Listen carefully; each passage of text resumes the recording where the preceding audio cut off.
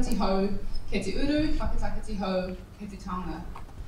Kia makinakina ti uta, kia mataratara ki tai. Iha aki ana atakura, hi tio, hi huka, hi hauhanga. Tihei, tihei mauri ora. This karakia speaks to the need to prepare for the hard times ahead. It acknowledges the greatness of life to persevere through challenges, with an awe-inspiring red dawn to transform the landscape. It is particularly relevant here in Waipounamu and also now during Takarua winter. And it means get ready for the westerly, be prepared for the southerly. It will be cold inland and icy on the shore. May the dawn rise red tips on snow, on ice, and on frost, the greatness of life. Tēnā koutou katoa. Kei te mihi tuatahi, kei te ngai tahu te mana whenua, te iwi whakaruru hou. Kei te mihi tuarua, kei te rangatira, Chrissie Williams. Te mihi kei te ngā kai whakaruriti. Councillor Sara Templeton, Dr Angela Curl, Edward Wright, Ed Clayton, and Charlotte Bebbington. It looks like it works, he's just waiting. Excellent. Tēnā koutou katoa. Kan nui te mihi kia koutou katoa. Nō reira. Tēnā koutou, tēnā koutou, tēnā tātou katoa. My name is Grace Ryan. I welcome you to this panel discussion as chair of the local transportation group branch. Thanks all for coming this evening. I know it's hard to get to get out on these winter nights. I'll pass you over very shortly to Chrissie Williams as our facilitator tonight. Firstly, for those who may not know, the Transportation Group is a technical group within Engineering New Zealand. We have more than 1,100 members, and membership is open to anyone with a professional interest in land transportation. We aim to host a variety of events for our members, and tonight's event was inspired by the committee, seeing a resounding need for this discussion and learnings to be identified from the dramatic changes, challenges, and opportunities revealed during our country's recent lockdown. Secondly, my deep thanks to our committee and especially Karishma, who effectively organised this event with Matty, and also to Ben as IT support and for filming this event tonight so it'll be available later on on the YouTube channel. Thanks to Christchurch City Council for hosting us at this venue. Um, I should note quickly that the toilets are just outside to the left, outside those doors to the left, um, and in case of any emergency, we'll follow the, um, the green exit signs outside to Worcester Street. As we go, please make a mental note of things you want explored later on. Um, we will seek to uh, follow those through with some audience questions, um, and Chrissie will tell you more. thanks again to Chrissie for generously agreeing to facilitate this discussion as well. We are fortunate to benefit from her broad experience as a community leader tonight. I would like to welcome Chrissie to introduce herself and then our five wonderful panellists. Thank you.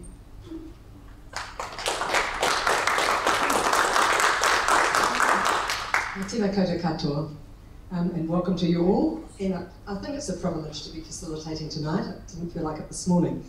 Um, so just a little bit about me. Some of you probably remember that I was a city councillor for and a community board member for about 15 years and finished in 2011. A um, couple of anecdotes from that time um, in the early 2000s we had to work incredibly hard as um, elected members to get the painted cycle lanes on the road. So I really admire the people who've, um, Sara and others who've been getting the uh, separated cycleways, and I absolutely love those. So, and the other thing we tried to do was get some bus lanes, and we managed to get a few discontinuous bits of bus lane, but um, inter interceded by parking outside every shop along the way. So, um, so that was, you know, we're up against a lot of challenges at, at that time. So I, I, was involved with transport and urban development and um, housing and a whole lot of other things as a councillor. Um, after I left, just after the earthquakes in 2011, I moved on to Ngāi Tahu as a um, science advisor and then the following uh, eight years I've been at Environment Canterbury and then Regenerate Christchurch and then City Council. I had six months in contract here um, till October um, and now I'm retired from full-time work I've been appointed as a chair of the Red Zone Transitional Use Group. That um, is a Crown Council uh, group that gives recommendations on, on land use in the Red Zone. Uh, Te Tira Kahikuhiku is our name.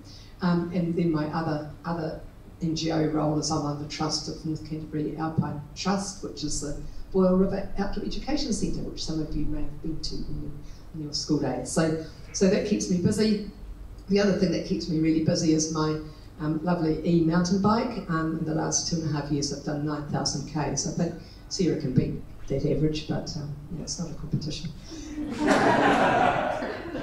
so the format from for tonight, um, there's a, a, few themes that people, I think some of you have sent, sent in questions. Some of them are really detailed questions and, and some are um, sort of a bit broader. Um, so we've got some themes that the, the committee have, have um, sort of sized up for us. What, I, what I'd like to do is ask each of the panellists to spend up to about five minutes to start off with talking about who they are, um, if they represent anybody, um, what happened during the lockdown and for their specialty, and also what their lessons were. So just to introduce that, I, have kind of got the it's very simple way of looking at a past event or an activity, the what or what happened, the so what, and the what now. So, or the now what. So just thinking of that, um, we'll try and work through those. So I think you all know what happened. Um, 33 days of level four lockdown. Um, workplaces closed, buses were only for essential uh, workers, and car use was really, really plummeted, and a whole lot of other things which people can talk about. So we've had to find different ways to access services and, and to meet our needs. And I'm probably going to upset a few transport planners, but I talk about accessibility rather than transport. I think transport is just one of the ways that we get accessibility. Um, so we had to find ways to access um, exercise, recreation, and, and um, closeness to nature, and we did that mostly by walking, cycling locally, um, instead of going to the gym. Isn't that great? Um, and not driving further afield to places like the Port Hills or the National Park. So we all learnt to, um, to explore locally, and I think you know, that's something we'll probably explore tonight. we accessed work and meetings and social connections through Zoom and Skype and other um, online apps. Um, some of us had coffee meetings on Zoom without any meetings going on. And interestingly, my, my siblings, two of whom live in the States and three in New Zealand, we've been continued to have um, two-week Zoom meetings, so, um, which is pretty good for so, some all post-65-year-olds. Um, and then we accessed food and other services by either shopping alone at the supermarket, so the supermarket became a very functional um, process, by having someone deliver our shopping or by shopping online. So we found ways to access what we needed without having to necessarily travel um, to it. So that's just, a, I guess, a, a brief in, intro. So I'm going to start with Angela, just because she's furthest away. Um, if you can just introduce yourself, Angela, talk about the lockdown for your, your interest area and also the lessons you learned. Um, uh, so I'm Angela Pell, I'm a senior lecturer in the Department of Population Health at the University of Otago in Christchurch. Um, some people don't know we exist, so for those of you who don't, we're just, I'm just two minutes away on Gloucester Street, but I'm in close to the hospital. Um, so I had to travel from Otago to get here today. Um, so my research background is broadly in transport and health. Um, I started like as a transport planner and saw the light. Um, I. Uh, so I started as a transport planner, then I went back and did a PhD in transport geography. Um, and then I started looking at projects around health and transport more, more specifically. And my interest particularly are in the social inclusiveness of transport and, and the health implications of that. So the health and social impacts of how we get around um, and at the moment, I'm working on projects around um, e-scooters, the new transport technologies, e-scooters and autonomous vehicles, and what that might mean for health and well-being. Um, and also around age-friendly cities, and some work on how we design for different groups of people, um, and doing a bit of work on pedestrian falls. Um, so I'm a geographer by background, so I'm interested in place and the impacts of places on how we get around, and I think during the lockdown we all became a lot more aware. Can you hear me? No. No. Sorry. I think during lockdown we all became much more aware of our place and where we live and the heightened importance of location. So that's um, something that um, was really important. Um, so in terms of what it taught me for my area, um, in public health, um, taught us a lot. And so it's hard to know where to, where to start with thinking about public health. But I think what lockdown has taught us is that we can prioritise the needs of the population as a whole. We can think about everybody as opposed to individual needs. So we all did what we needed to do for the for population health, public health, um, rather than our individual interests. which is really important when we're thinking about the kinds of change that we need to make to tackle the global challenges like climate change. Uh, I think we also learned that we can dramatically reduce travel. We can reduce the amount of travel that happens, so we can do that. But obviously, we can do it in a certain context, um, not necessarily translate that into everyday life, but it does show that impacts of reducing travel. Um, we saw some of the positive impacts of people living more locally, spending more time in their local area, much quieter streets, um, reduced, improved air quality in those areas, so reduced pollution.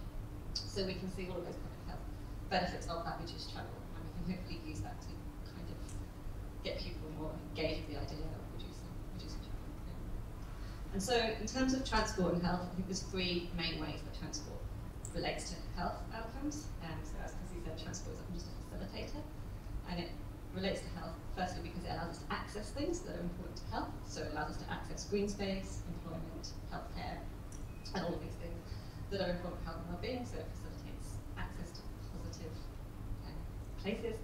Um, and, it, and also there's benefits for the in terms of the physical and mental health impacts of actual, the actual movement, so physical activity and um, mental health outcomes of actually being able to move.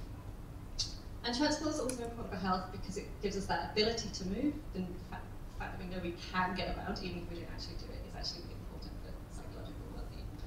And all three of those things changed quite a lot um, during the lockdown. So the things that we access, and the ways in which we moved, and the impacts on that for physical mental health, and also the ability to move, and the ways in which we can move different distances has changed a lot. So it's still quite a lot in three areas um, from my perspective. Um, and then I think there's also equity implications, so thinking about who could could not move, um,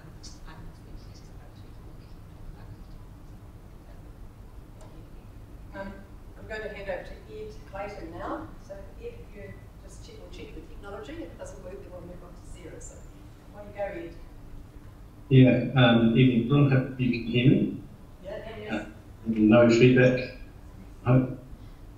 Okay, good. Um, yeah, first of all, uh, big thank you to the Christchurch um, branch of the Transportation Group for having me along tonight. And it's really real pleasure to be invited to talk about these sorts of things. And uh, I, quite a uh, good thing that we can sit here and review this. About myself, um, I I'm actually an environmental scientist, and a hydrologist, and sort of freshwater quality specialist, not an engineer. Um, and I'm representing the Sustainability Society tonight, which is another technical interest group of Engineering New Zealand. Um, I think my sort of route to sustainability has come through the work that I've done. Um, interestingly enough, similar to Angela, I was transport planner for my first job out, out of university. Um, but I was building roads and widening intersections, and it didn't really sit with my idea of, of how we should move around the city. And I ended up quitting that job and then working in environmental monitoring. And the more you work in environmental monitoring, the more you observe the environment around you. You observe the interactions that happen between the freshwater and the infrastructure that surrounds it and observing the urban pollution that comes from our built infrastructure and especially roading, that's uh, really encouraged me to pursue interests around different types of mobility and accessibility. And totally agree with you there, Chrissie. Like uh, transport is, is a small term that should be wider, um, more encompassing. If we if we think about accessibility and mobility, there's a really good terms to use. Um, I, I, I think the lessons that I have from lockdown, um, I had a group of friends that were quite close to me, and so in level three we could go biking around the streets together, and uh, that was that was really an interesting perspective in the way that you view the city that you don't normally seem to get. So that ability to move around easily, you observe more of that streetscape uh, than you otherwise see from your car. And it's that sort of small interaction and exploration that occurs when you're in an active mode of transport compared to sitting inside a vehicle that really makes you appreciate the city that you uh, that you're in. And then it comes down to the accessibility to that blue or green infrastructure that supports uh, mental health and well-being as well. And I'm really interested in Angela's comments there around that health aspect to the to transport and mobility that we get as well. Um, I, I sort of think that there's there's a few things we could have done better coming out of that lockdown space. In, in Auckland, we had quite a lot of temporary cycle lanes that went in, like coned off sections of arterial roads to allow people to bike around at level three, including Queen Streets, Ponsonby Road, Tamaki Drive, and yet when we came to level two, the demand from people who wanted to drive was that we removed them all. Um, Queen Street, we were lucky enough that they already had programs in place, planning around how they would uh, address the, the traffic choke points along there anyway. That's, that was already underway. But we've lost all of our temporary cycle spaces that we had. And it's, it's probably resulted in less people wanting to get out and bike. Uh, conversations that you have with people, uh, everyone talks about how easy it was to move around during those periods. And you know, there's a desire for people to get out and have that easy mobility, but it's in sometimes direct conflict with what we uh, expected to, how we're expected to behave in the way that we move around our city for commuting, for, for work, for recreation, getting to sports, all these sorts of things. So um, I think that's enough for me for now, but I'm really interested to hear from the other panelists and, and how we go about sort of realising these opportunities we have.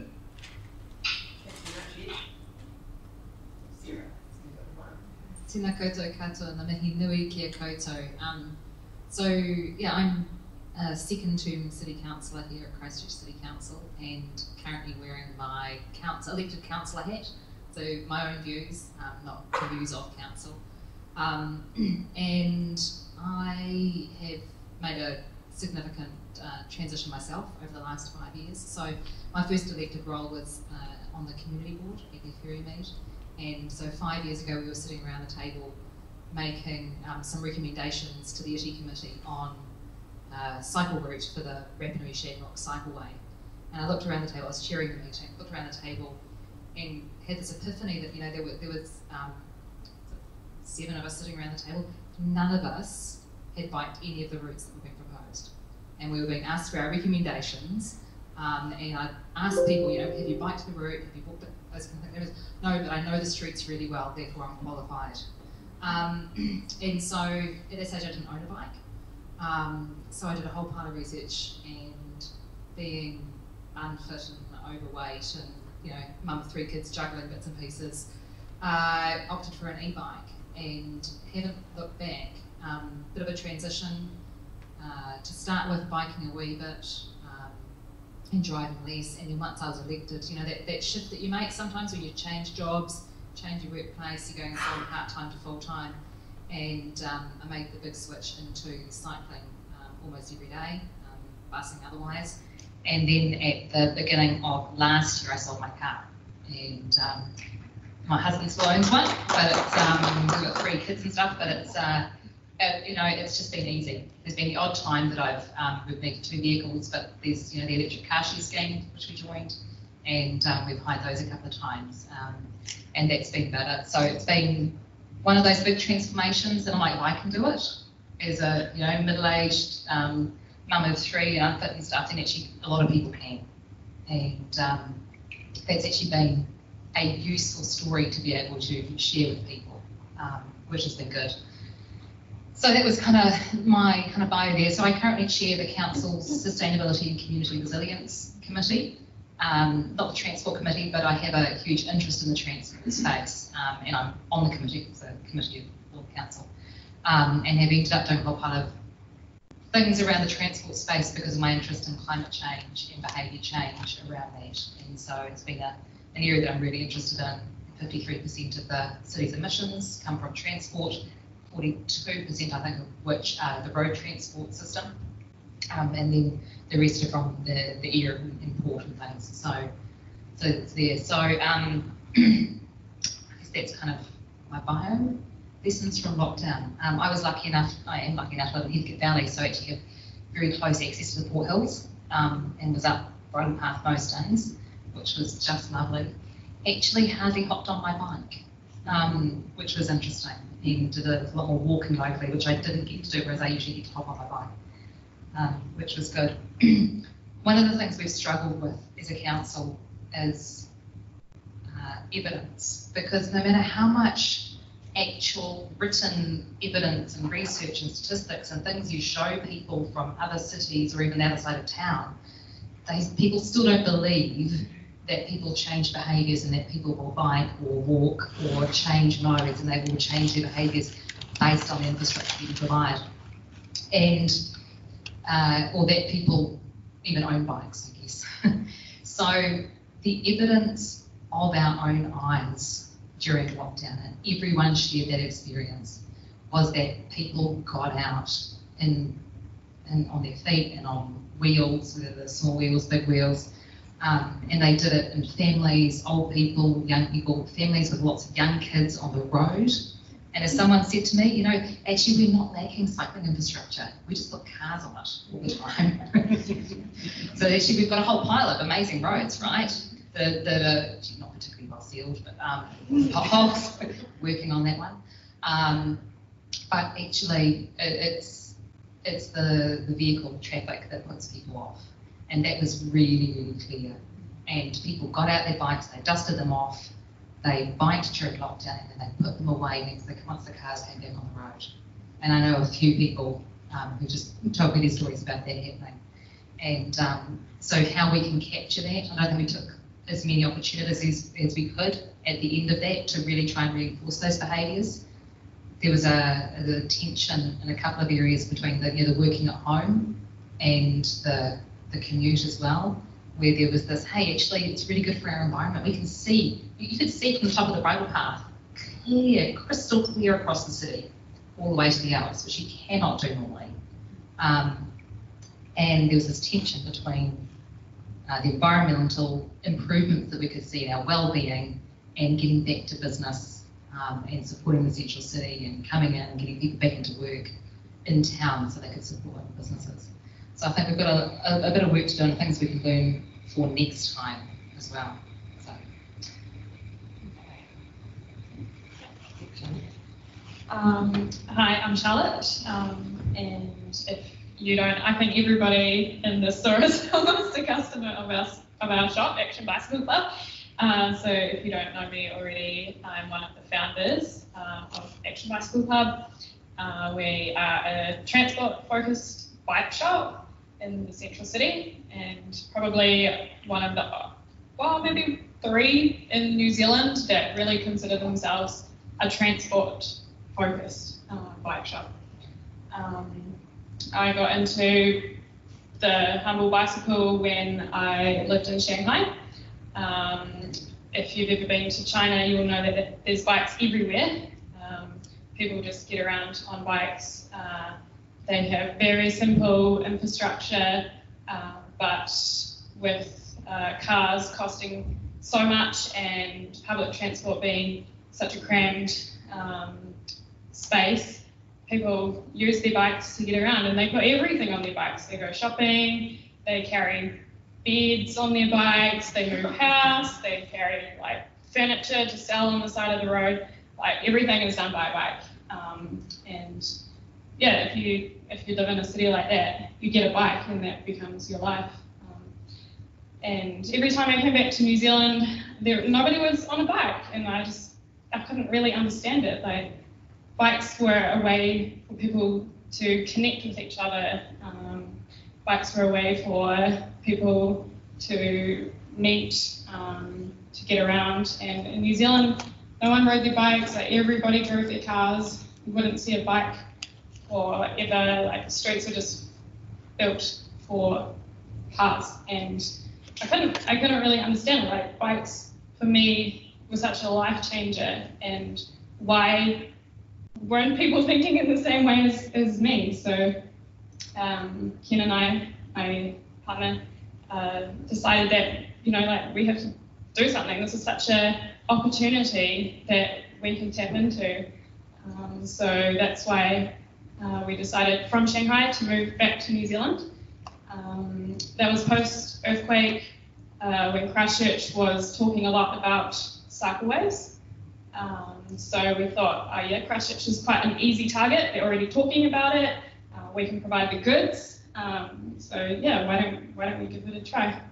And um, I think it's been almost four years now. This the shop has been open, and yeah, every year it's growing and growing. People are becoming more interested in bikes as uh, transport, um, especially you know the the simple upright step through bicycle. We bag, you can bike to work, got your basket, and yeah, most recently electric bikes as well. Um, they're really taking off. Um, lockdown obviously told us that bikes, people want to ride their bikes. Um, it's yeah, for I think for everybody it was like a spiritual awakening. Um, this thing that had been suppressed inside us for so long just came to fruition and um, people dusted off their bikes, they rode around their neighborhoods, they uh, spent time with their families, um, children learned how to ride their bikes, uh, you know, they explored their neighborhoods, um, saw their neighbors down the street, met new neighbors that they didn't know, um, all because of the, the bicycle. Um, so yeah, I think that yeah, that's just such an amazing thing that came out of the lockdown. Um, but on the on the flip side, it showed us lockdown showed us that uh, that people will not bike with in this with unsafe streets. Uh, streets are full of cars. Um, people will not bike. So um, that was a really important lesson for us as well. It showed us that people wanted to bike, but they will not if our streets are built for cars. And yeah, uh, it was quite interesting for for me as a bike shop owner. Uh, basically, we had to shut our shop. Um, we consider ourselves a transport focused business, and we did believe that we could provide an essential service to uh, people that were using their bikes as a mode of transport. Um, and if you reading the wording on the government website, we could actually have done that, um, but uh, because society is so uh, brainwashed by bikes being leisure uh, uh objects, uh, we were actually told by another bike store that we have some relationship with that we should not open our shop because uh, bikes are leisure activities and the government has told us that only essential businesses should open. So yeah, we had to shut down. we, we had uh, four weeks of uh, spending time at home. Um, I didn't really ride my bike at all, uh, but I did a lot of walking, which was nice. And yeah, um, I just, I'm so passionate about just people riding bikes every day. Um, I think that more people riding bikes can just create such wonderful cities. Um, and yeah, we need is just more people doing it.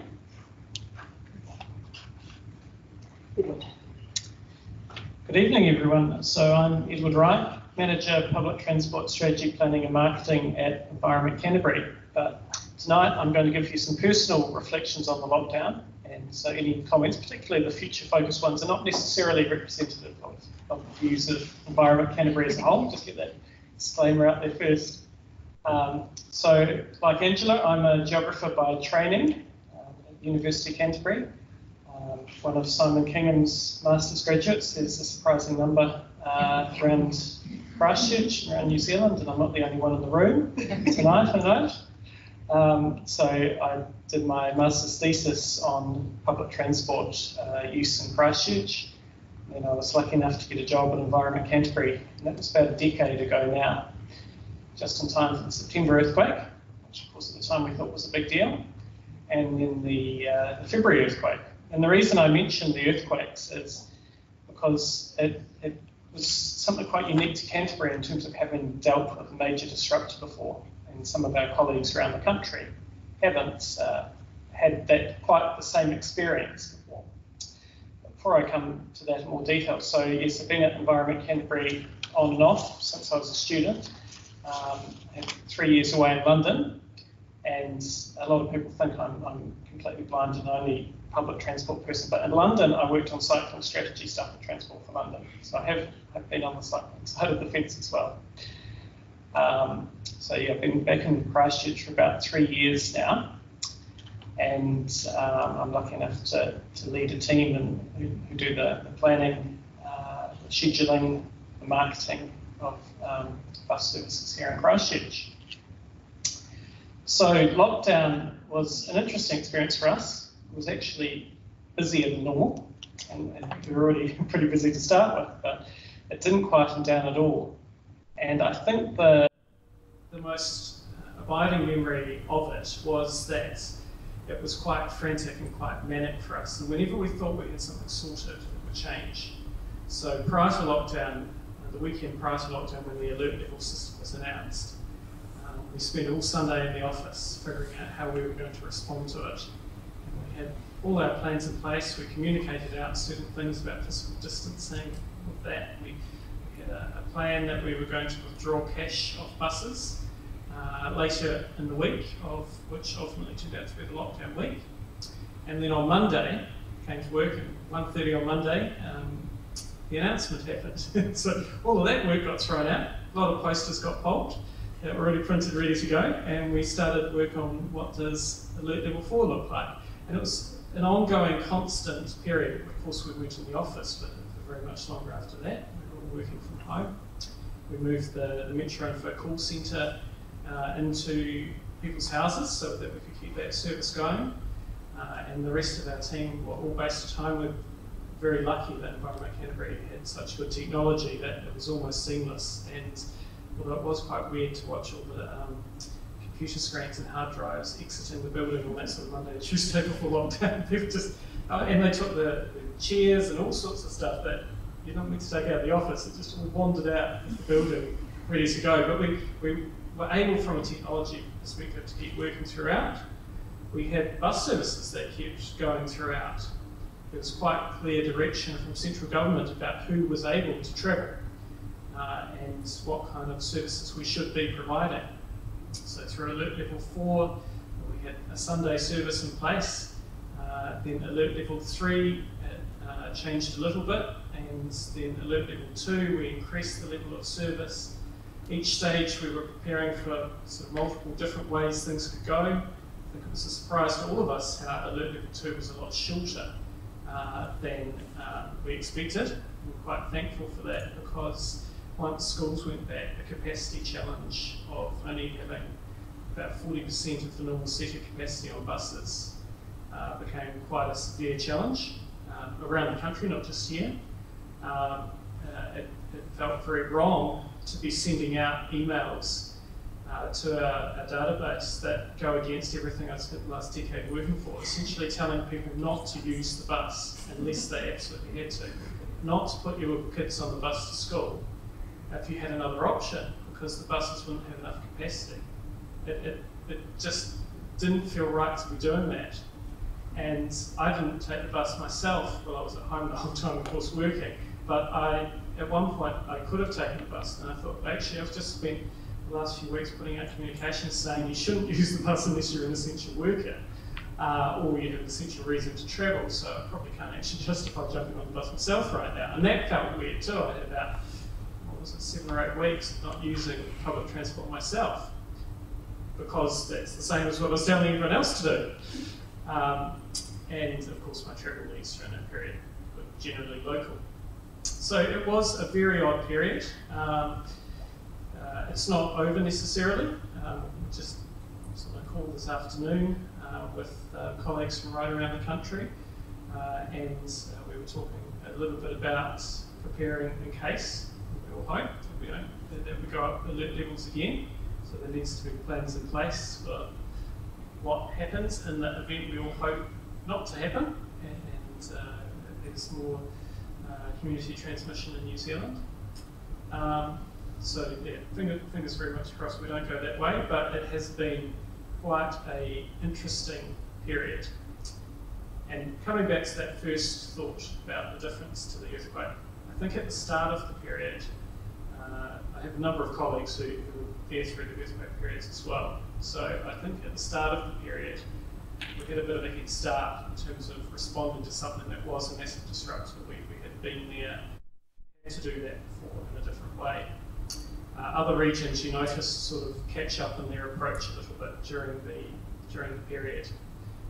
And the great thing that has come out of it in the public transport sector is we're talking to other regional councils a heck of a lot more than we were prior to this. We're sharing a lot more information and ideas, and I really hope that that is something that we continue.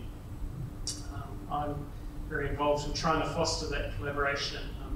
Workstream lead for the regional council sector and public transport. And trying to make sure these, these meetings keep going and that we keep encouraging uh, our, our, fellow uh, colleagues right around the country to keep talking, keep sharing ideas, not trying to reinvent the wheel in every region uh, when we, we can be working together a lot more. So I think that's one really positive thing that I hope comes out of this situation we all hope we never had to, to deal with. Uh, so patronage in Christchurch is roughly 80% uh, compared to the same time last year. And uh, so it's built back fairly well. It's interesting to compare notes around the country. Different regions are having different experiences. Uh, I can't speak for other regions entirely, so don't quote me on any of these figures, but I think Auckland is more in the 70% of usual patronage region, and Wellington's more in the 90% of normal patronage. So we're seeing slightly different levels of response in the, in the different regions. Uh, there's in the smaller regions some different things going on. Some regions, particularly Otago, uh, still have free fares at the moment, so they're seeing different levels of, of response uh, to that. Um, one, oh, one other little thing that you just reminded me with patronage. In Timaru, we were doing an on-demand transport trial, and we were lucky that the, the pilot had just launched in February, and we sent out an email to everyone telling them that oh, COVID's happening, we're going to turn off the trial. And the next day we realised that actually the best response for public transport in Timaru was just use on demand. So it became, it, it got launched uh, publicly a lot earlier than it was planned to be, and we used it as the response in Timaru. Uh, so our Timaru patronage is, is going really well. It's about about 100% of normal um, at the moment with on-demand and some fixed route services having been reintroduced into Timaru as well. So that's that's another slight difference in, in patronage. Thanks, thanks Edward. Um, it's really hard to know where to go from here. Um, Edward's example of telling people not to get the bus, it feels like the yellow bin syndrome a little bit, doesn't it? Tell people to put rubbish in their yellow bin and they don't know how to stop. Um, so people are still not using the bus because they perhaps they've got that, that same message of not, not, to, not to use it. Um, rather than getting into nitty gritty about buses or bikes, I, the question I, would perhaps like to pose to the, the panel is um, around flexible working arrangements and the lessons, the lessons from that. So, so I'm trying to think of some of the ongoing changes or benefits, maybe disbenefits in some cases, um, fr from what we what we did during the lockdown. So, if you just would like to talk about um, flexible working arrangements and how that might affect transport systems, our access to, to services and those kinds of things. So, um, I'm just going to pick on people in the order and then um, does it sound make sense? So Charlotte, I'm going to start with you. Just um, yeah, this is quite a hard one for for me. Um, actually, when I think about it, I I don't really know if it's a good thing because uh, you know people need to get out on their bikes for exercise, um, and if we want people to move around on their bikes, uh, telling people or making people stay home is kind of it's like the opposite of that.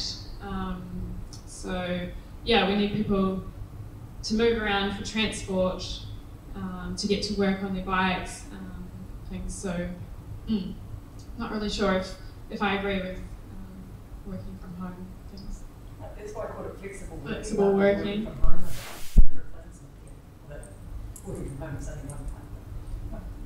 Let's go along to go to Ida Um, I think one of the things is that, that we had that um, that tension when we came back um, to level two level one between that whole getting back to business and coming into town um, and people's desire to be more environmentally friendly and work from home more.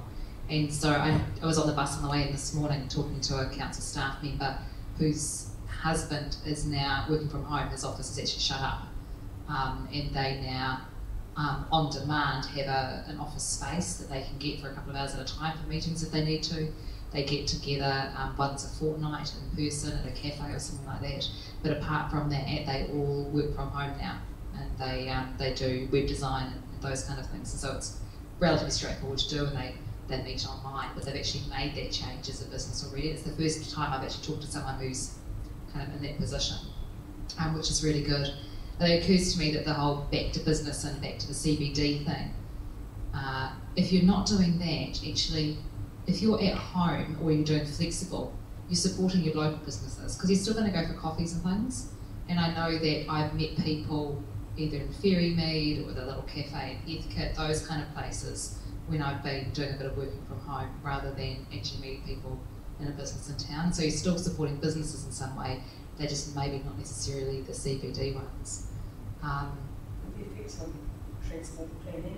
yeah, if you're able to lower than so we're looking at Christchurch over the next 30 years is going to go from Greater Christchurch from what 365 to 475 or something like that thousand.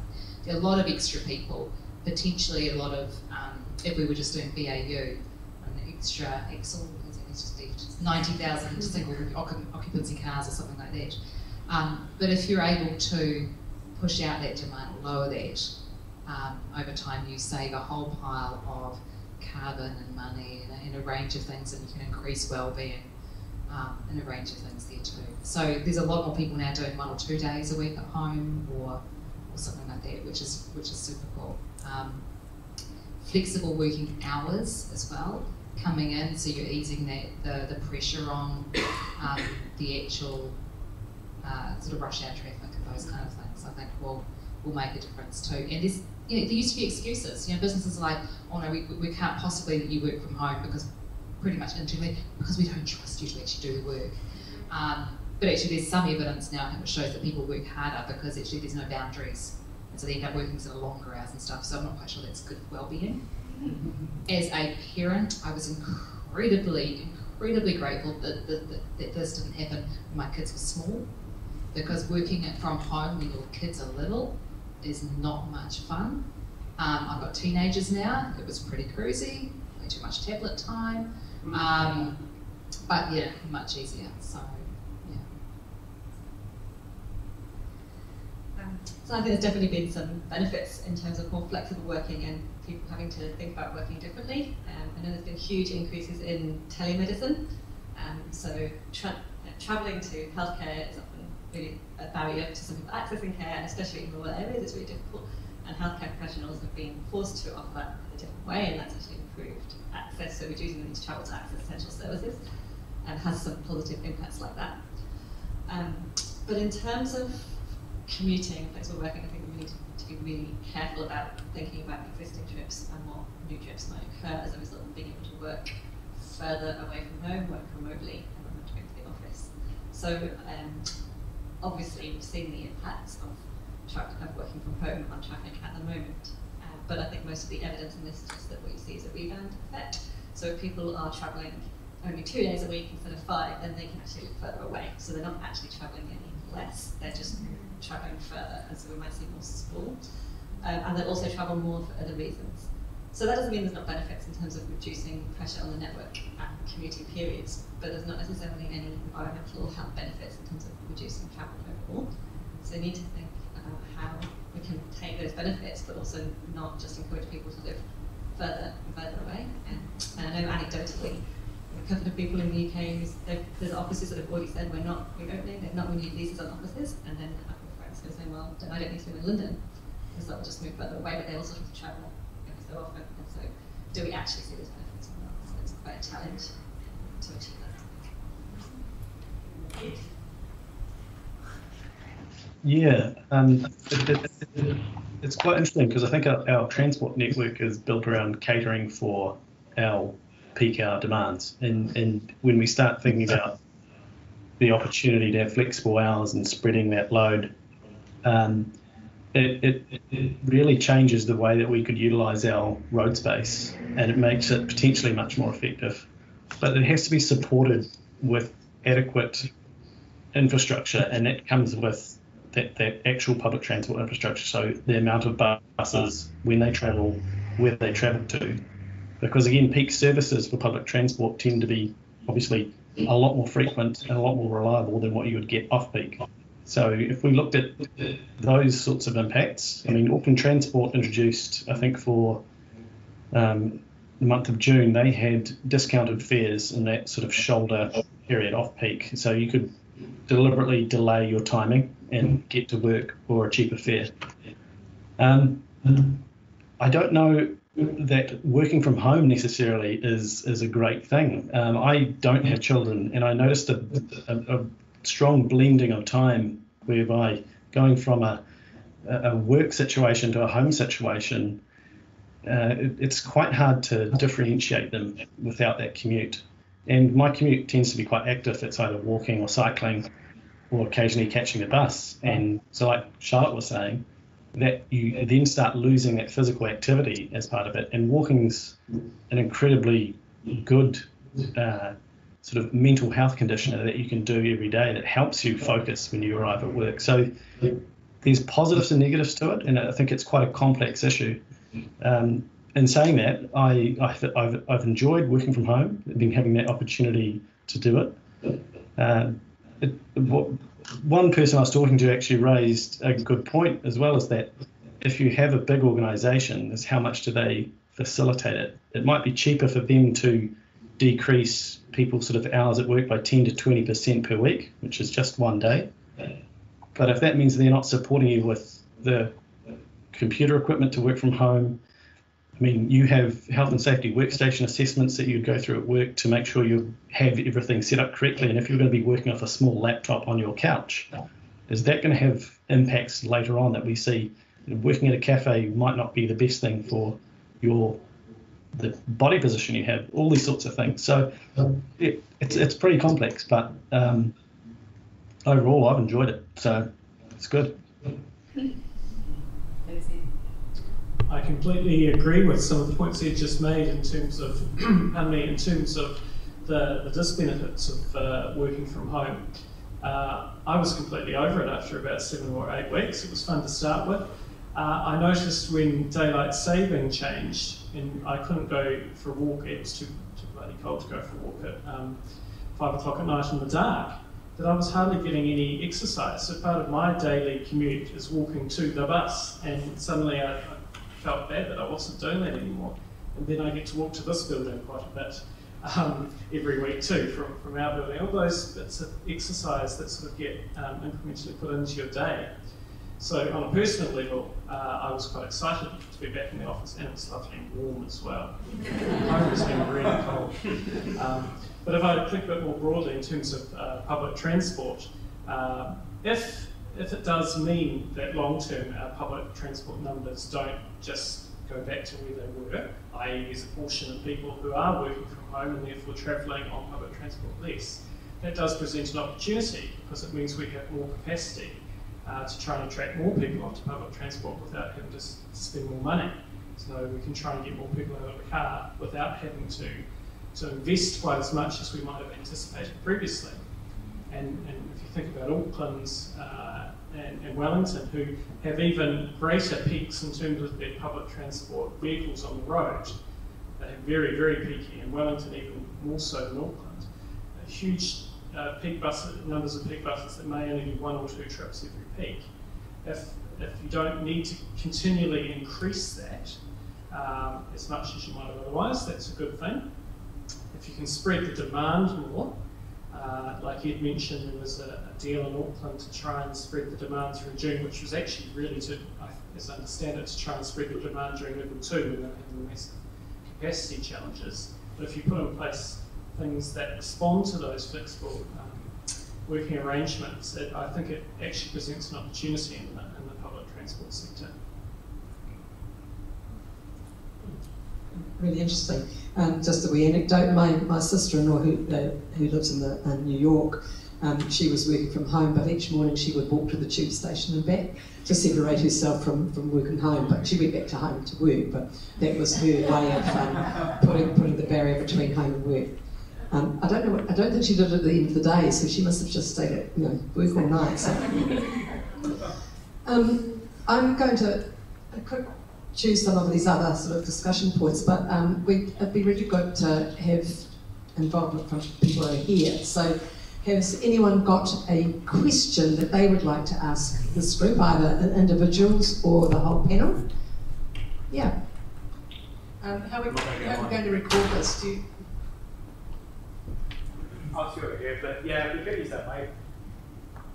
That's better for it. Hello. Uh, thanks for uh, the Transportation Group for organising this event. It's um, really insightful. Um, I just had a couple of questions actually. First one was around, so some of the comments that were raised were, you know, how positive the lockdown was in terms of, you know, you, you were leaving your house, you were seeing families, kids out in the street, people walking inside, all that stuff. And then lockdown finished, and then it was kind of like we just went back to square one.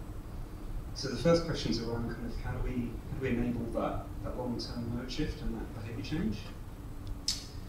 And then the second question that kind of leads on to that is around, and it's kind of been touched on, um, and it's the issue around what I feel is this um, travel, travel demand and, and transport is, is, is coupled alongside um, economic activity and city vibrance and, and you know how successful we want Christchurch to be. So you know whilst the council's been saying for years, you know, we need a central city again after the earthquakes and and then we had everyone leaving again, lockdown, and everyone was going out to cafes, like you said. But then, but we need people to be back in the central city. We need a we need a vibrant city centre. So, but at the same time, how do we square that against some of the sustainability and environmental objectives as well? So, be interested to hear thoughts on those two issues. Thank you. So we'll start with the first one, um, and you don't all need to answer it, but anyone want to contribute about what's how do we have long, try and get long-term modal shift or behaviour change? Um, I guess thinking of the lockdown as, as the um, pressure point. Um, the thing that was the standout in the lockdown for me is is the language that the government used. Um, they clearly said, "Do not drive your car, um, and you may use your bike or go for a walk for exercise."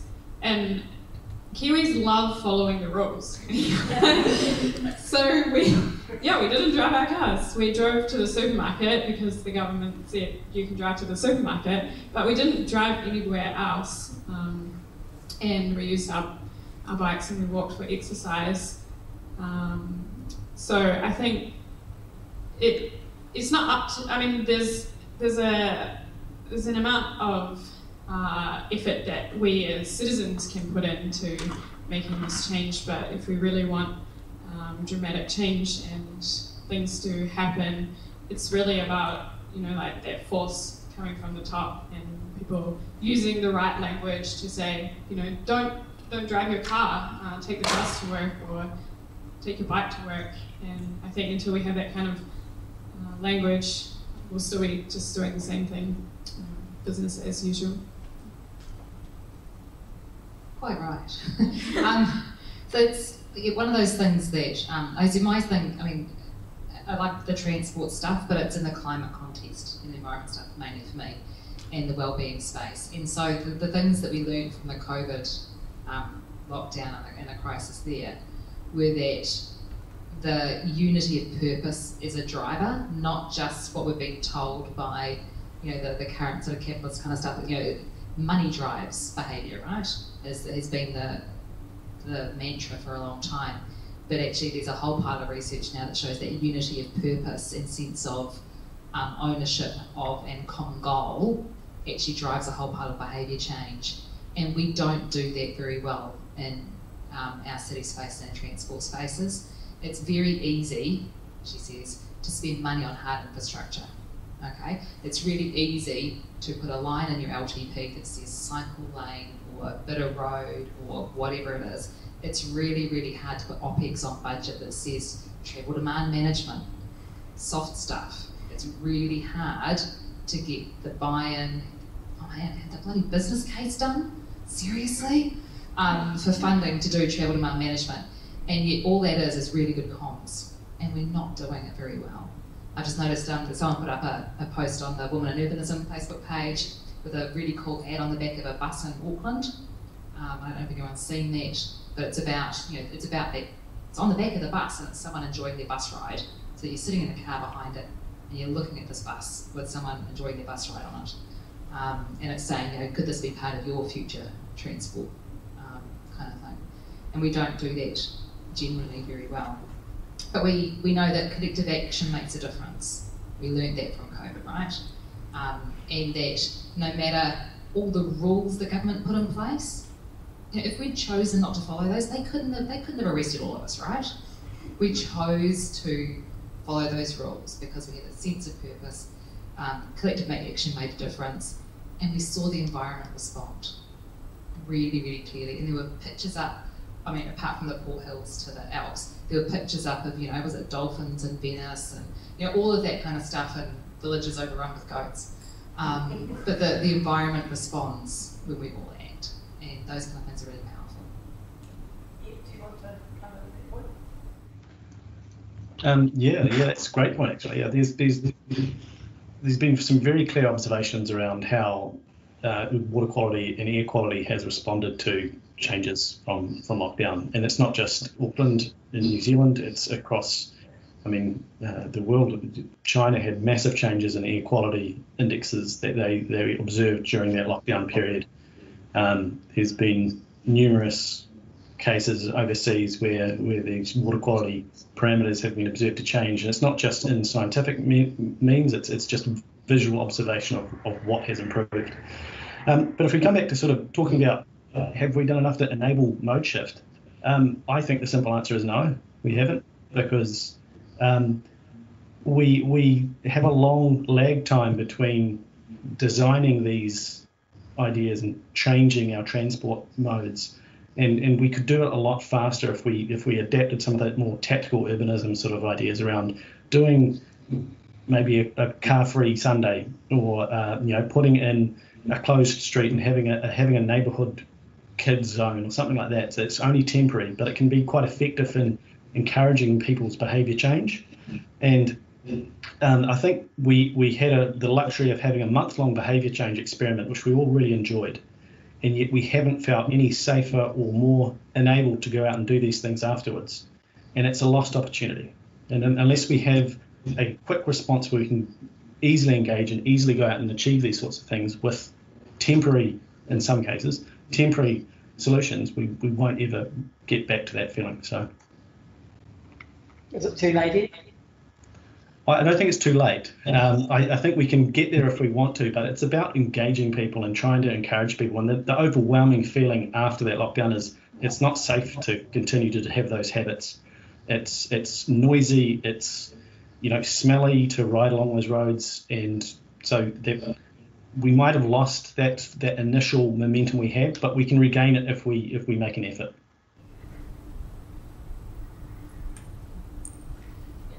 Um, I think one of the things I've noticed that might be helpful in terms of changing the way we travel is not about mode shift, but that the language has started changing rather than talking about mode shift. People realise that we can actually reduce the amount we might travel overall. So talking about shifting modes still kind of assumes we can do everything we want to do and we're just going to do it in a different way. But I think if we really want to achieve sort of the environmental and health goal, then it actually needs to be reduction in travel, which means we need to change the place, the kinds of things we're doing and, and how much we're doing which relates to your second point about how can we have vibrant city centres and achieve um, some of the benefits of shift, which is to make sure that we're travelling shorter distances and having denser um, centres that are more vibrant and don't require travelling by carbon intensive. Um, so the, the second question was around um, travel demand in a vibrant CBD. Um, just a, a, comment on that, that last one was um, people, I think you mentioned, Charlotte, that people stopped walking um, as soon as we got into level three, and cars increased as soon as we got into level three, as well as I think time was an issue. So in, le- in, the, in level four, people had a lot of time. I mean, I stopped walking, and I've got I'm retired. I've got all the time in the world, but I've stopped walking. I'm back on my bike a lot more. So you know, I think it's interesting, not just that you're looking at your own personal behaviour, and I need to look at them. Why, why did I do that? And, um, probably because I'm a few biking.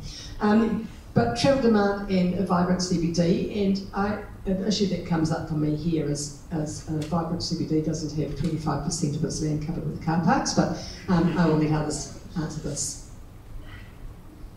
I might start this one off. Um, from a public transport perspective, we're all for a vibrant CBD that doesn't have any gravel car parks. Um, again, this is my personal view.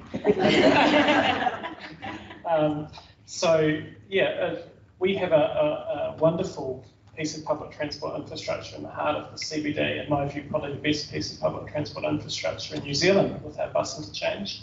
Uh, we have a network that no matter how we structure the bus network in Christchurch is always going to be very centred on the CBD, given the nature of our city and how it mushrooms out from the CBD. So increasing the, the vibrancy of the CBD is something I'm very interested in.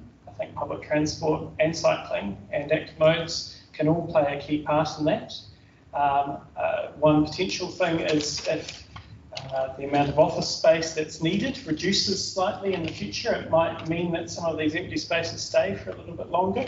So perhaps we need to look at other kinds of uh, stuff we can get into the CBD instead.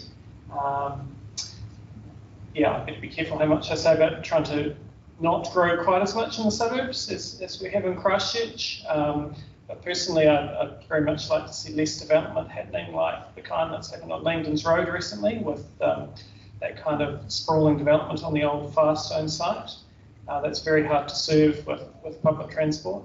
Uh, development in, in central city, both retail, office, whatnot, is, is very much easier to support with public transport. So I'm all for less suburban sprawl and, uh, a wonderful CBD like we all hope to have here in Christchurch. Um, I think what's important to consider when talking about vibrant cities is how you move people in and out of the cities. Um, with buses, you can move like a mass of people uh, all at once. So when you see that mass of people arriving at the same time, you you feel like there's some kind of vibrancy just from being surrounded by people. Um, but if you arrive in the car by yourself and you have to park 10 minutes away and walk by yourself, um, you know, like the feeling is completely different. So I think it's you know, it's really important uh, to think about how we move people and um, more that we can move people on bikes and, and public transport, the more vibrant our cities can feel.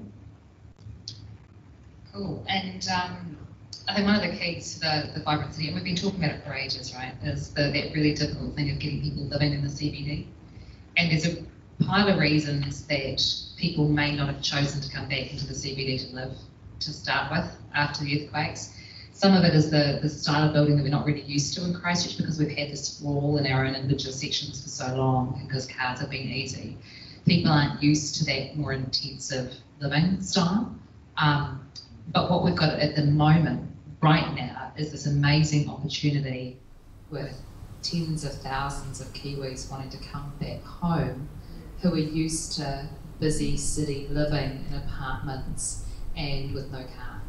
And so there's a real opportunity to try and capture those people coming back from overseas and saying, hey, Christchurch is your place, right? We've got this amazing CBD that's being rebuilt. We're close to the Port Hills, to the Alps, to the beaches. We've got all of this amazing stuff for you to come and um, experience and live and share our city. And we've got a stack of um, those more intensive developments that are being built and some are, some are sold, some are being lived in, but there's more of them on their way. And um, there will be more and more with the new NPS and stuff like that as well, um, which is pretty cool. When it comes to the parking and the use of land, I think we need to get more people used to that off-street parking, which big cities around the country and, and, and the world do. Um, and the key one that just sticks me every time people, I don't know, people go, oh, you know, but on-street parking, and I'm like, Riverside. You know, I don't know if you've seen the before and after photos of Oxford Terrace um, at our meetings today, but um, a really, really clear example of what Oxford Terrace used to be like, a nice wide footpath, two lanes of traffic, and then lots of vacant parking next to the river there, and what it's like now outside Riverside. They built Riverside in a place with no on-street parking deliberately, um, and all of the all of the key areas now in the city that are pedestrian friendly, so Cashel Mall, Oxford Terrace, New Regent Street, all those areas have the highest pedestrian count, have the highest retail and hospitality spends. Um, and yet you try and take a couple of car parks away on High Street so that you can make it like that for the, for the shops. The world's ending. Um, anyway, don't put that one up online. yeah. Okay, Ed, Ed wants to. Yeah.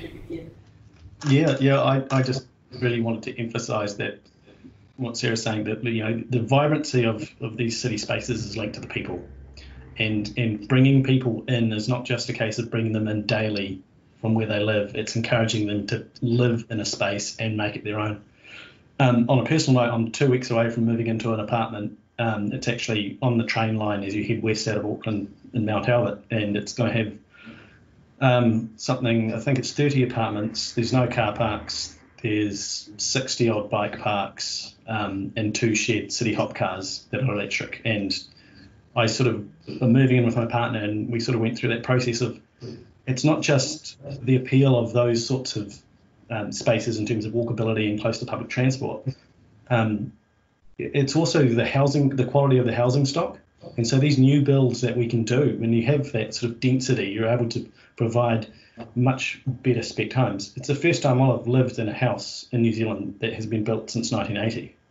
And the repercussions in terms of coldness and dampness and you know the things that you experience, uh, just it's just going to be amazing. I'm really looking forward to it. and a lot less dust, can I um, guarantee you, Ed. Um, just just commenting on um, Charlotte's comment about uh, getting on a bus and, and, everyone arriving at once. If you use the cycle lane on Strickland Street and take you a street in the mornings, that's what it feels like. You know, there's 20 people at every at every light, and you know, it's amazing that you feel that there's a group of you going going somewhere together. So, yeah. So. Right, so we've got a couple of questions. We've got.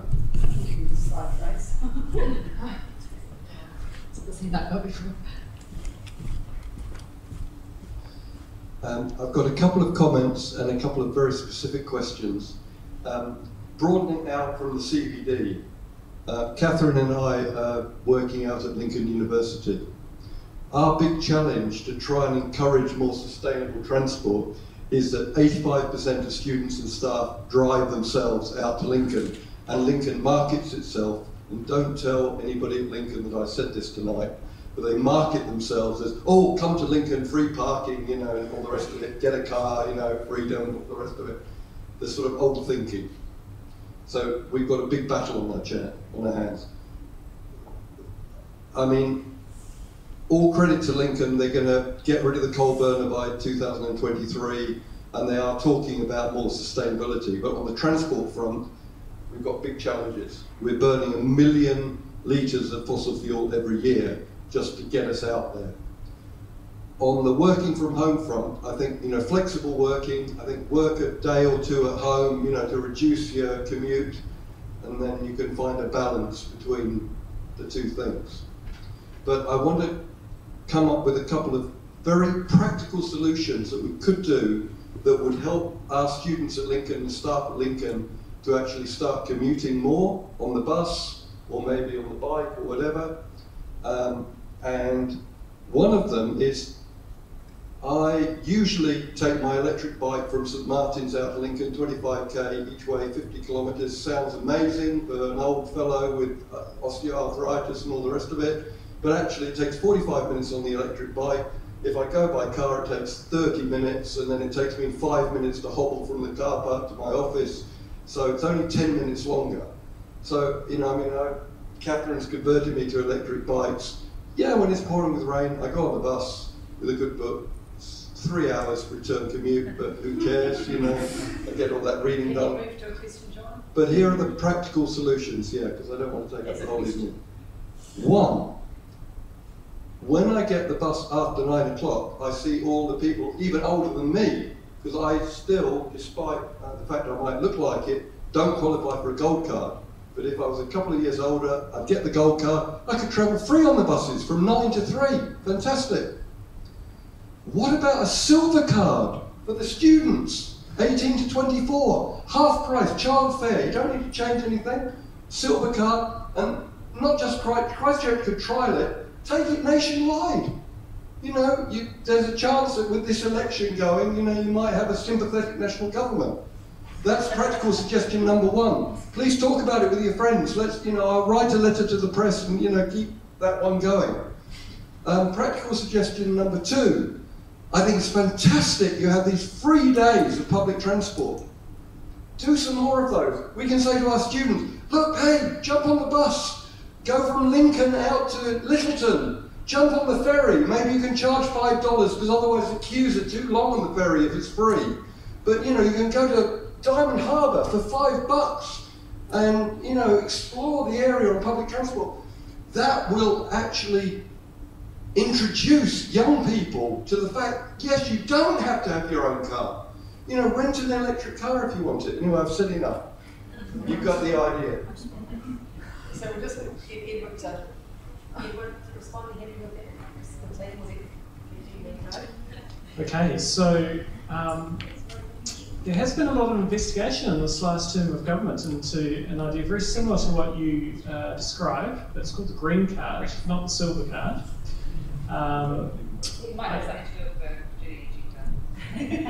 uh, the investigation into it, I, I'll, I'll be careful what I say because I was involved in, in the project, and but I'm being careful what is publicly known as it was in the coalition, not the coalition, the confidence and supply agreement that it would be investigated. The Green Party's confidence and supply agreement with Labour that a green card would be investigated. That has happened.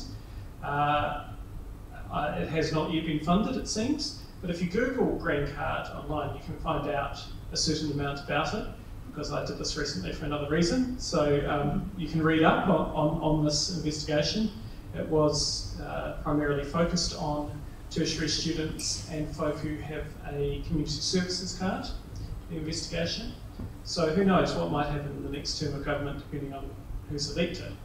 Uh, to your second question, free days. We have done, um, obviously, this free stuff over the COVID period. Uh, we have done some free uh, days in the last couple of years around World Car Free Day. We've only done those on a Saturday and Sunday, very purposely, because uh, the weekday capacity, uh, if we made it free, probably couldn't actually cope uh, with the, the volumes. And we're very conscious that we don't want people to have a negative experience, and we don't want our regular customers to be regu- uh, to be negatively impacted if the bus that's normally a space is too full. So we're, we're conscious of that. So the idea is good in principle, but you wouldn't want to do something that that uh, makes a negative experience for your regulars or puts people off in their first experience. And Just um, one of the things is that when students shift from high school to university, it's a really big thing, and they feel all grown up, and a lot of them want to buy a car. So the at that point, often when they're trying to be a bit more independent and stuff as well, the price point is really important. So that that green card for the free travel. But the other thing is ECAN has a fare review coming up um, in the next year, and so making sure that you have input into that because even no, we're a bit cheeky here, you know what I'm about to say, don't you? Raising the raising the student age. So it's currently captures uh, 18 up to 18. So 17 year olds. When you turn 18, all of a sudden you're an adult fare. So if you're able to raise that, because because there are actually some students who turn 18 while they're still at um, high school, but if you're able to raise that a year or two, you hopefully through that financial incentive get people used to travelling the bus out to Lincoln and those kind of things Couldn't you raise at that that point. 63? Wouldn't that be fantastic? But yeah, so so but getting students at Lincoln involved in the fare review process as that happens and finding out about that would be really good. Okay, um, Really? Only got time um, for one question, and um, the person in the grey shirt.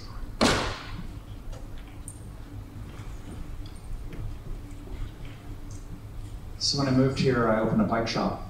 I thought it would be for transport cycling. Uh, so it didn't work. Uh, I was in Palmerston North, and everyone thought that cycling was for sport. And if you look at Trade Me, bicycles are under sports gear.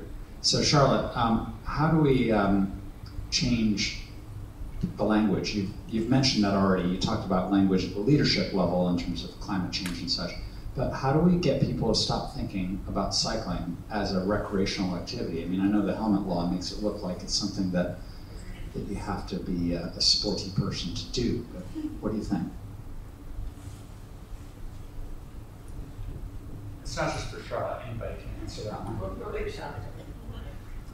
Um, well, again, I think it comes down to language that comes from the top. Um, you know, the government doesn't really talk too much about biking as a mode of transport. Therefore, the bicycle industry does not respond because there's no market demand for uh, bikes as uh, for commuter bikes or commuter accessories. Um, therefore, they, they don't want to take the risk of selling that product when they expect that no one's going to buy it. So, um, what did what what do we do differently? Um, I guess that the whole the whole idea for the shop for our shop is that it's more of a it's more of a lifestyle store.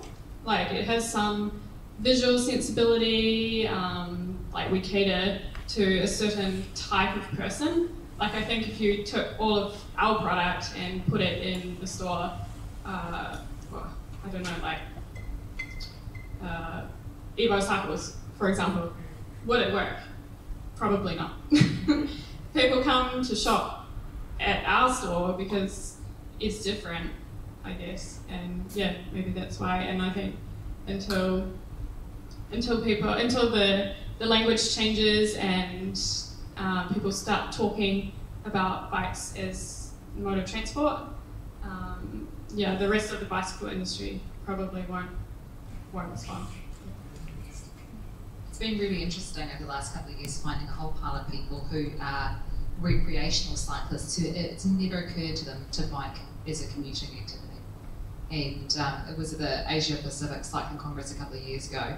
We listened to Sarah Ulmer talk about her cycling experiences, and she, you know, top international cyclist, never cycle commuted until she had kids, until she retired from racing. And it never occurred to her to use as a bike, a bike as transport. And there are so many people up on the Port Hills, on their mountain bikes, those kind of things, who who just don't bike to work, and yet they have, they have a bike, they're clearly fit enough, um, and it just doesn't occur to them. So how we switch that, um, because there's enormous potential there. So. Um, and also again, um, yeah, when they when these people, kind of people do go into Bike Barn, for example, to buy a commuter bike, most likely they'll be sold a mountain bike or a road bike, and then they find it really uncomfortable um, to ride, and they're completely put off by the idea. So, um, so yeah, selling the right product is, is important as well. this is an adjunct question. So my memory, and things might have changed, but the way that we measure cycle use is by commuting cycling. So the data measures the percentage of people biking to work, and that's what the census does, and that's what various council surveys does. So it just seems that we're discussing cycling as a transport, but our measure of cycle use is, is people using it as transport. So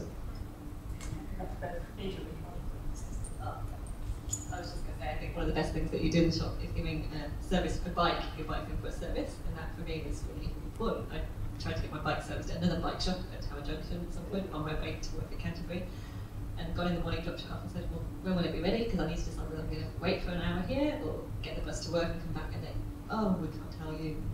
So I got the bus to work. They said it'll probably be the end of the day, and then they said, "Oh, it's ready now." Half an hour later, I could have just waited. Um, and then they're not in the mindset of realizing that people are using the bike to actually get somewhere. It's just uh, they assume you've driven it to shop to get your bike serviced. So and like, pick up another bike on my way home. I think that recognition of other lifestyles would be really important. To say I went through a, a bad spell of punctures, and I would get to walk walk the bike the last 500 metres to work, and then take off my tyre and take the shower again, and and pick it up again at the end of the day bike. Do you want to add anything, Ed? Um, just just one thing in that, that I you know I do, do think language is extremely important in the way that we we talk about cycling, but also that e-bikes I think are the fastest growing vehicles sales in New Zealand, and they enable um, people who wouldn't necessarily cycle to cycle even with our infrastructure the way it is. So, and those people tend to be older or otherwise less likely to cycle. So convincing people that they can do these sorts of things and convincing older people that it's easy and able, they're able to cycle because they have an e-bike, that's also a really powerful thing. Um, that's going to create a huge groundswell of demand for better cycle facilities and stuff like that. Very last thing, sorry. Just one last thing on the, the measuring the, the trips and how we tend to talk about the commuting ones, but you know, there's six or seven key bits into the city and a raising 20% on year, that kind of thing. But actually, when we did our qualitative stuff a couple of years back, um, 51% of people on the cycleway were doing it for for commuting, and the other 49% were doing other stuff.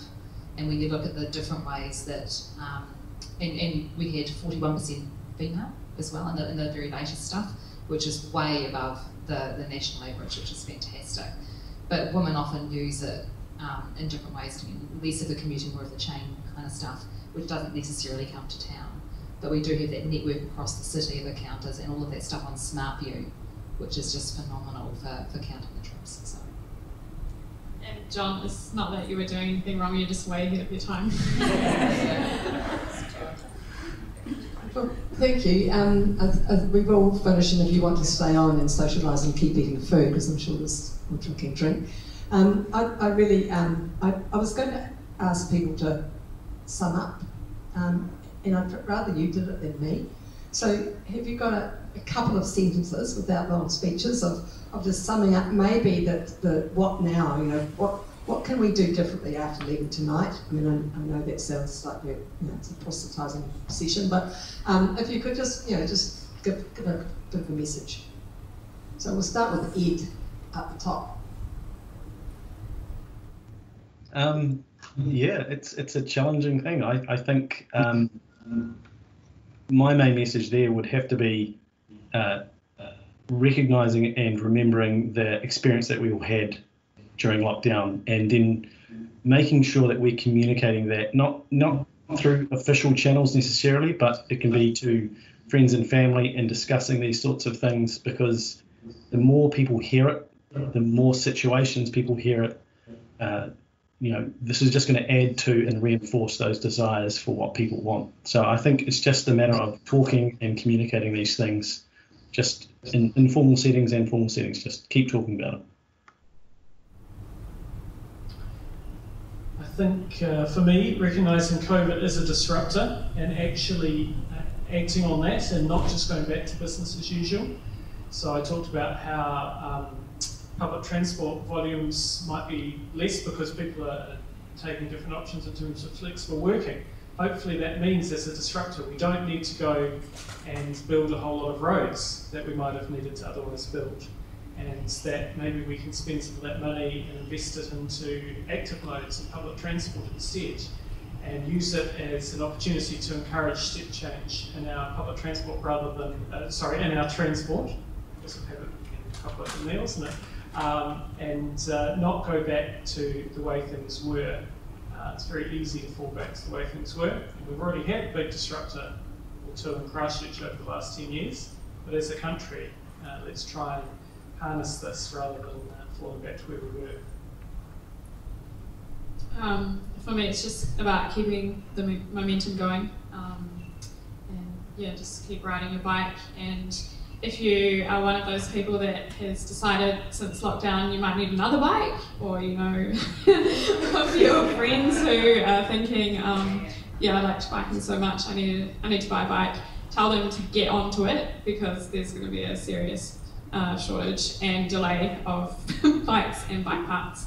Um, yeah. Uh, because of the mass amount of sales across the world. Yeah, I know that.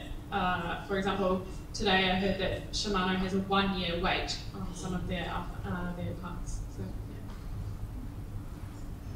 I, I guess for me, it's um, recognizing that we're on the space that we, we know it. There's lots of research out there. All of the data, the stats and stuff is there.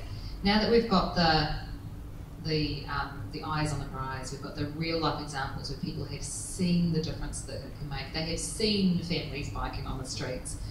The thing to do is, I mean, we've got all the transport planners and the people who know how to do this stuff in the world but we need the decision makers to make the decisions. We need the decision makers to say yes, they need to put it on the budgets, they need to direct the, the staff to put it in the LTP, all of that kind of stuff. It needs to happen at the election. You need to vote and you need to submit on everything all the time and get your friends to do it because um, pushing your elected officials, whether at local council or at government, makes a difference. And I see it almost every day. Um, writing to the newspapers, all of those kind of things, change the narrative, it makes a difference and it would help enormously.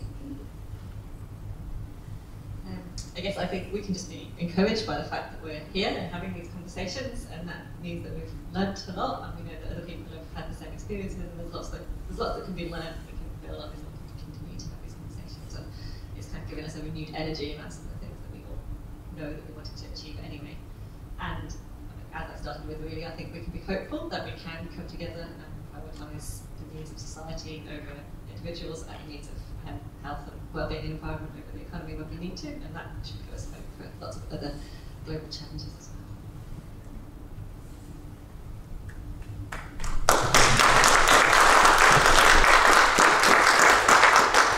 And just before I hand back to Grace, just a couple of things from me. One around the language. I think that the most um, pressing language I suppose we've had in, in the response to recovery is shovel ready. Um, I, I, think it's meant we've been constructing, wanting to construct things. After the earthquakes, it made sense that we did infrastructure repairs and we did shovel ready projects, but we had no damage to our infrastructure through COVID. So it just seems that we've gone, it's taken us off onto a track of building things um, when we could have been investing in people and health and housing and community and, and active transport um, provisions. So I think that, that use of that language has been has, has really sent us in a direction that I don't think we should have gone. Um, and then the other thing that people talked about was that people were cycling because it felt safe when they were, during lockdown. Um, and the way I feel when I'm biking on the off-road cycle, or the, the separated cycle paths, I feel safe. So somehow we've got to get people who haven't been used to using those routes and just go the same route that they always drive, which possibly isn't safe. We need to get some way of um, showing those people that those routes and, and, getting to go off path a little or off route a little bit to use those what much safer paths. And I know people do that. You know, there's there's schemes where people friend friend another person and take them in, but I think that's something something we need to do a lot more. And, and Andrew, I think your comments about the health benefits of a lot of the things that happened, uh, I think is a real take home for, us. So thank you very much, Angela, Ed, um, Sara, Charlotte, and Edward. Um, I've really, really enjoyed it, and my trepidation this morning is, is, was not warranted. So thank you. Thank you, Grace.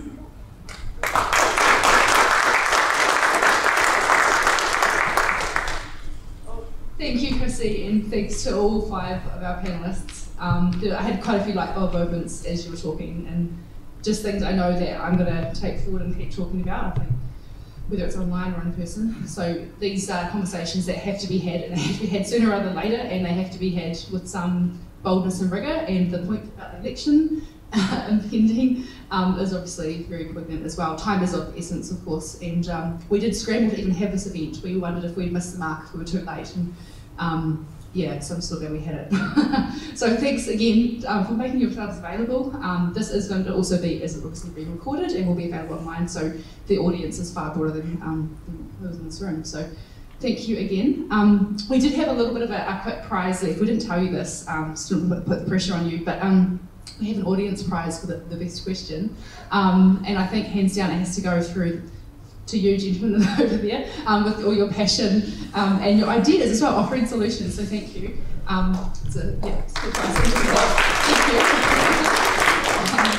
And we also have um, something for, for all of our panellists and obviously yourself, Chrissie, too. And um, we have a digital version that will be coming your way, so you certainly haven't missed out at all. Um, just a, a Scorpio Books um, voucher to get yourself something fun, obviously, if you've something to read. so thanks again. Please, please do stay around. We um, obviously have plenty um, still to eat and drink.